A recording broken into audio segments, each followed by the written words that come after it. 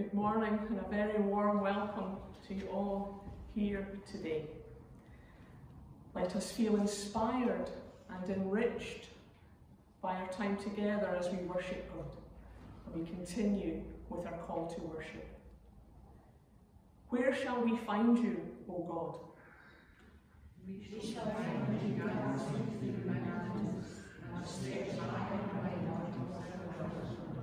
We shall find you, with the like my name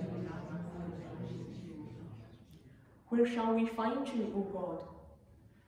We shall find you among people of faith, who give justice Where shall we find you, O God? We shall find you here, and we worship you.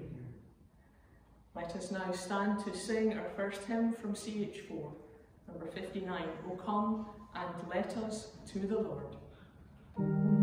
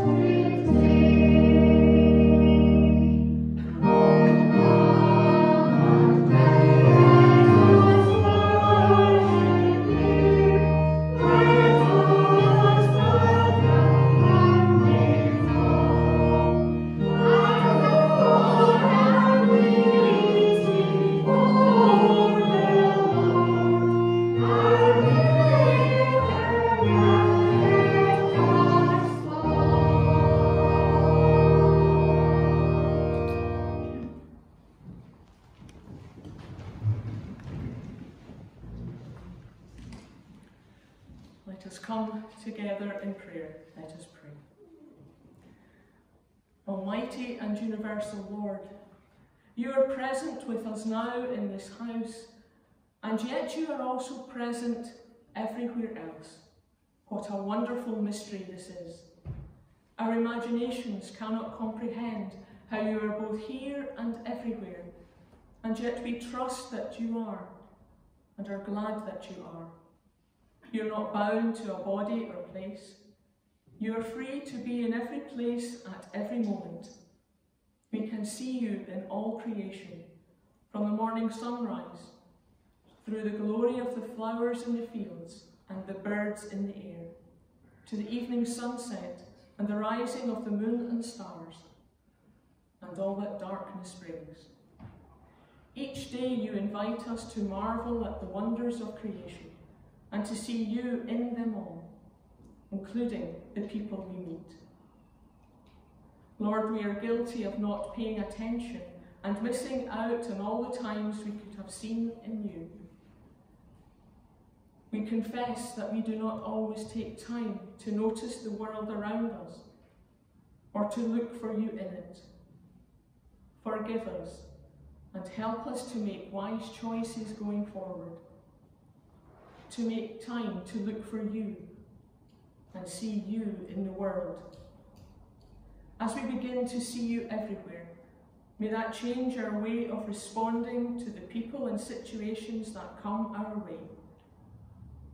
May we learn to love as Jesus loved and care and share all we have as he did. We ask these things in Jesus' name, who taught us to pray together, saying, Our Father, who art in heaven, hallowed be thy name. Thy kingdom come, thy will be done on earth as it is in heaven. Give us this day our daily bread, and forgive us our debts as we forgive our debtors. And lead us not into temptation, but deliver us from evil. For thine is the kingdom, the power, and the glory forever. Amen. Good morning, all you young people. Good to see you. Got something to show you.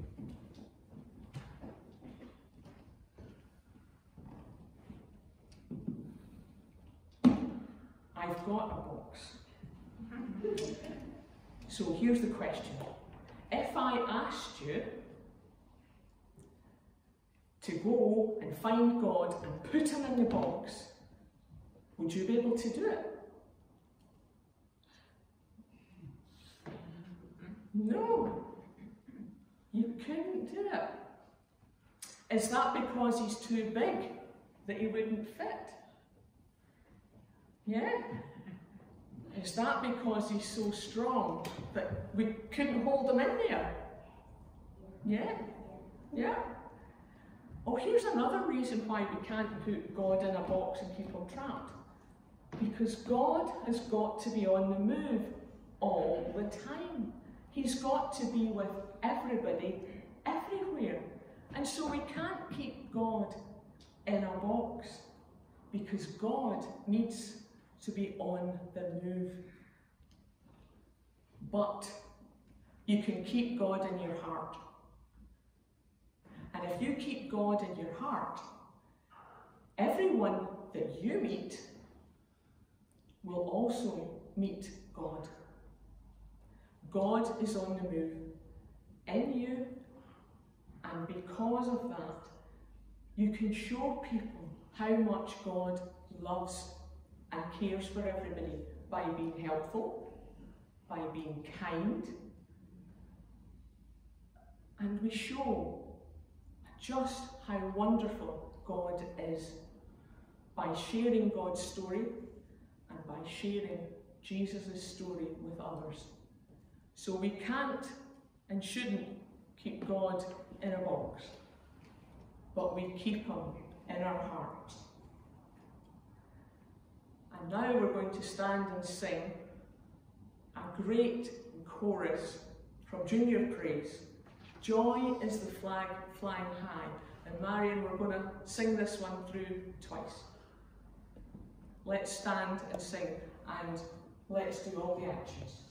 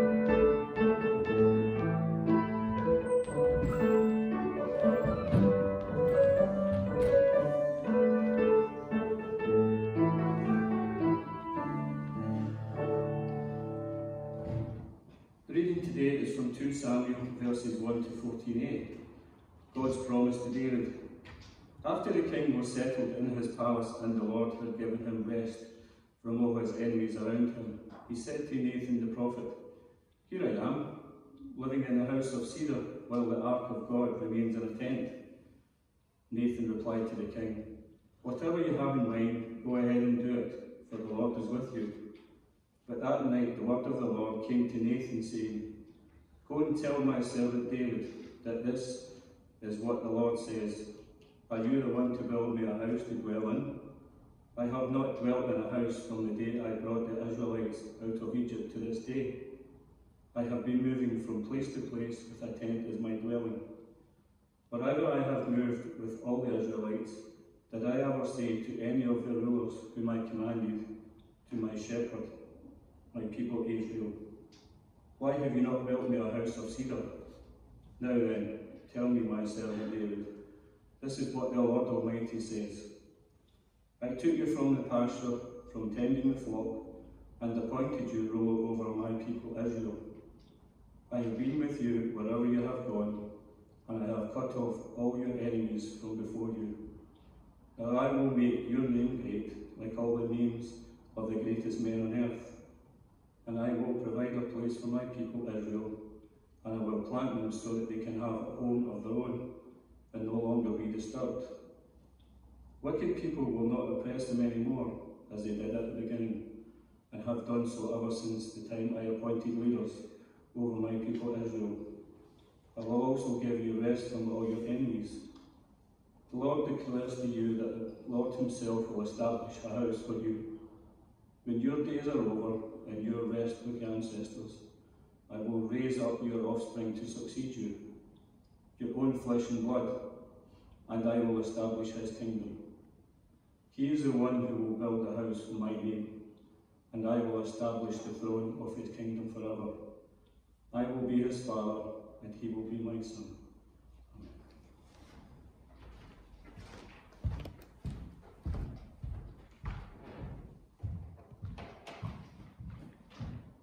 We now stand and sing together hymn from CH4, number 624. In Christ there is no east or west, and we're singing it to the tune St. Magnus.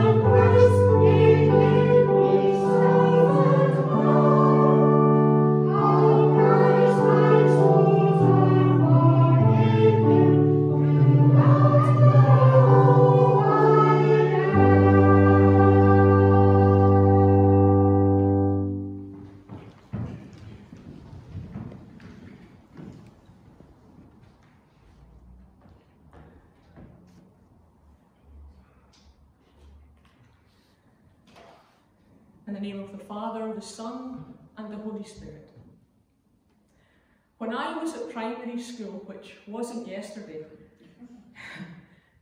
for a block of PE, we got a new item, or rather a new experience, called music and movement. Now, for someone who relishes PE and likes to run up and down, play netball and do athletics when I was younger, music and movement became, was a complete and utter shock to the system. Picture the scene. In the gym hall, the entire class in our PE kits, and we got this. Some posh lady from the BBC urging us to stretch on our tippy toes as high as we can and become sunflowers. or trying to shape our body into great big trees with wonderful outstretched branches. And here was the clincher. To shape yourself into a capital letter. And in my case, our class were asked to shape ourselves into a capital R. Now, I'm not going to demonstrate it, but I would challenge you in a darkened room to have a go. Can you tell I wasn't impressed with this new part of the curriculum? The idea, of course, was to get us to move in such a way as to stretch and move with the music artistically, as well as this subtly, to in introduce impressionable children to a lighter classical music. It still haunts me to this day, but I do like classical music. The idea of being on the move can be a bit of a love-hate thing. Nobody likes being stuck in a rut, but we all like our familiar home comforts around us. Having adventures and exploring new horizons is balanced by the thought that there is no place like home. In our scripture reading today, King David has established his kingdom and united it. He has brought together the warring factions among the tribes of Israel and seen off their enemies. He has founded a new capital city, Jerusalem. He has remembered the God of Israel. He has danced in his excitement at the nearness of God. And then he remembered that the God of Israel had no permanent home, whereas he, King David, lived in a palace. What kind of house should God live in? What woodwork or stonework? What glass or metalwork? What gold and silver and rubies and diamonds and emeralds and all the expensive beauty of the world would be fit enough to house God? What fabrics and textiles would you use? Who would do the flowers? In our own lives, the question of housing is crucial. Shelter is essential to our survival as a species. The quality and safety of our homes matters. We need a roof over our heads. It is why seeing people in our streets who clearly have nowhere to live for whatever reason challenges us to think why and what we might do about it, like supporting the Bethany Trust or participating in the annual Social Bite Sleep Out to make our government take note of the homeless issue. Oh, and by golly, the sleep out is cold. And there's a few people in Paul Polbeth Harwood that have experienced that and supported that. David sees God homeless, carried around in a box from place to place. Surely God should be in something grand, permanent, glorious. God says, no, God is on the move. Temples will rise and fall. Synagogues and churches will come and go, but God is on the move. Every time, every time we try to pin God down or box God up, God is on the move. Every time we say, this is what God is like, and this is how God will stay, God is on the move. It's wonderful. It's frightening. It's unsettling. It's glorious. However much we try to contain God in a box, or in a building, or in stained glass windows, or church furniture, or communion cups, or pieces of music, or doctrine and practice, and tradition, and history and attitudes, God is on the move. And I've often wondered whether that makes God absolute or relative. But it certainly makes God impossible to pin down and define. That was attempted at Calvary on a wooden cross and afterwards in a stone tomb. And God got out of that too. God is on the move. From the first verses of the Bible, where God is on the move over the face of the unformed world, through walking in the Garden of Eden in the cool of the day, to the journey with Abraham through deserts to the promised land, to Moses and the Israelites through the wilderness out of Egypt, to Elijah in his lonely cave, hearing the voice of God moving nearby in a whisper. God is on the move. In Jesus, God keeps on moving. Journeys to and from Bethlehem at the Nativity, and the flight to Egypt, returning to Mary's hometown of Nazareth, travelling around the lakeside, walking over the waters at Galilee, up and down mountains and to lonely places. On the road to Jerusalem and into the courts of Herod and the high priests and Pilate, through the city streets carrying a cross, into a stone tomb and out of it again. God is on the move in Jesus. And whenever God is on the move in Jesus, God encounters people. When God is on the move in Jesus, whether in the heart of things or out there on the fringes where nobody much goes, God in Jesus, on the move, encounters people. Usually people in need. Usually people not too sure about what they wanted, needed. Usually people everyone else had walked away from. But here, on the fringes, on the outskirts of life, these sheep without a shepherd encountered Jesus. God on the move. So it's no surprise that one of the names given to Jesus in Matthew's story of Jesus' birth is Emmanuel, God with us. During the COVID pandemic, which we are still experiencing, God is on the move and has been with us throughout, journeying beside us all. We have seen him in action in many ways. God has to be on the move because God is seeking people out.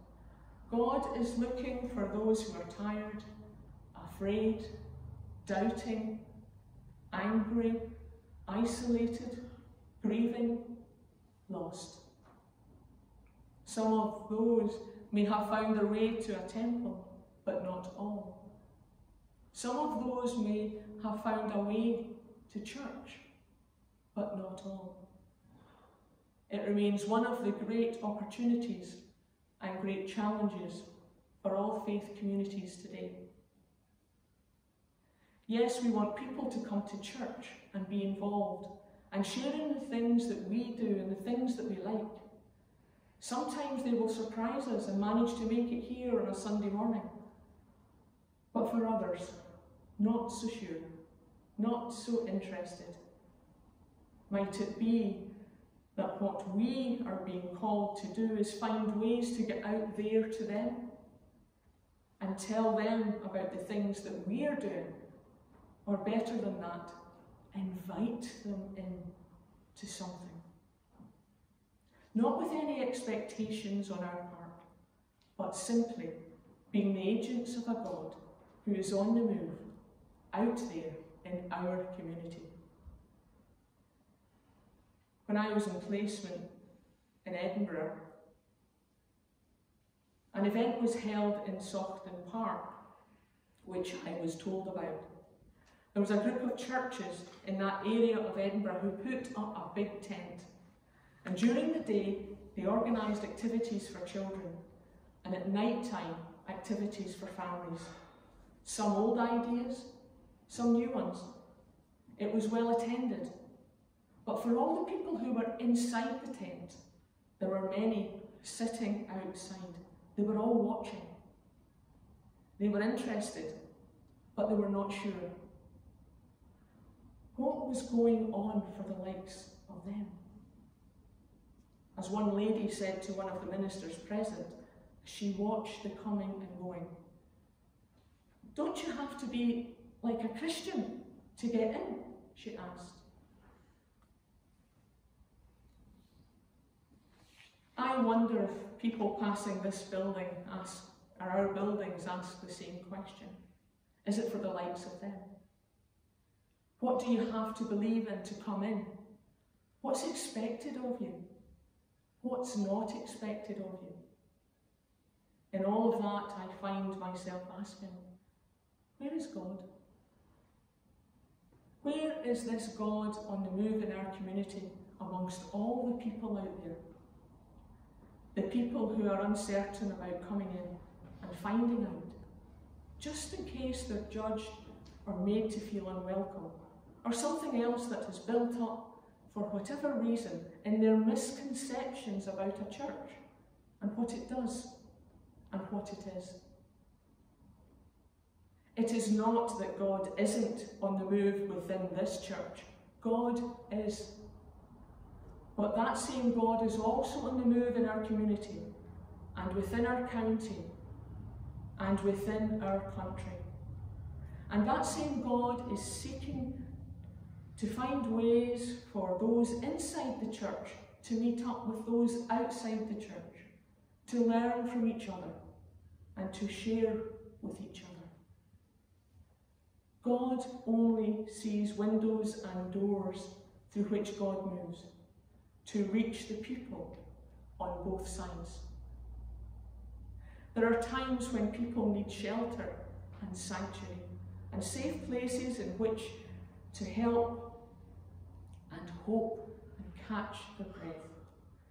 There are times when people need to gather to celebrate, to learn or mourn or work together for a good cause that makes the world a better place. May this continue to be such a place where God is on the move in our worship, in our sermons, in our encountering Jesus.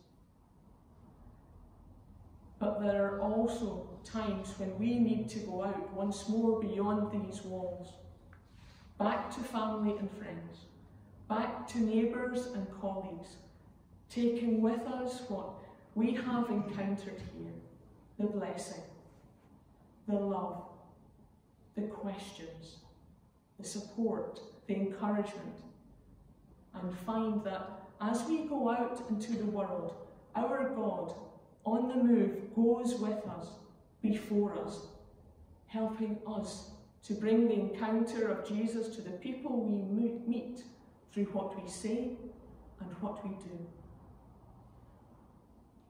God on the move is not trapped inside this church box.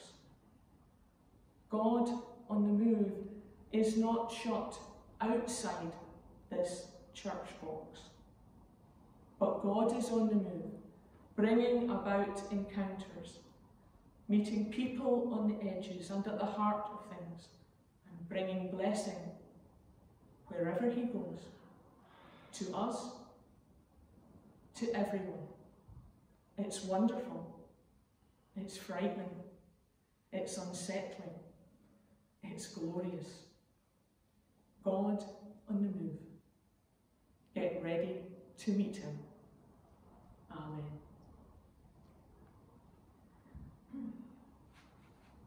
I'd like to thank you for your continued support through the giving of your offerings. And if you didn't get a chance to place your offering in the plate as you came in, you can do so at the end of the service. let's come together in prayer. God of love, thank you for the vast universe you have created for us to enjoy. Thank you for the mixture of beauty and fragility that makes up the world we know. You are present in all of it and experience the joy and pain that ebbs and flows throughout the universe. Lord, we are grateful for all that brings us joy and laughter, for friends and family, for homes and financial security, for healthcare and education, for peace and a stable government. Lord, we are all too aware that other people are not so fortunate, and we bring our prayers for them before you today. For those people who have no roof over their heads, who do not have a table, let alone food to put on it. For those people whose lives are affected by walls that keep them out and are barriers to their daily living for those people whose doorways do not protect them from intruders looking to steal from them or harm them. Lord God, we ask you to step into the midst of their lives, to hold and help them and comfort them. For those people who look out of their windows but refuse to see the pain and suffering right before their eyes, Lord God, we ask you to open their eyes and hearts that they too may be filled by compassion for others. Lord, you live everywhere and in everyone. Do not let us forget to seek you in our neighbour, to follow in the way of Jesus, by feeding the hungry, clothing the naked, taking care of the poor, the bereaved and the sick, making sure that all people have a place to live where they feel safe and a place where they belong. May your home in our hearts and help us to share your love with everyone. Amen. Our final hymn today is from Mission Praise and it's a hymn that not all of you know. So we're going to have a karaoke session as we stand and sing along to a, a, a video and just give it loudly and enjoy. It's called Rejoice. Let's start.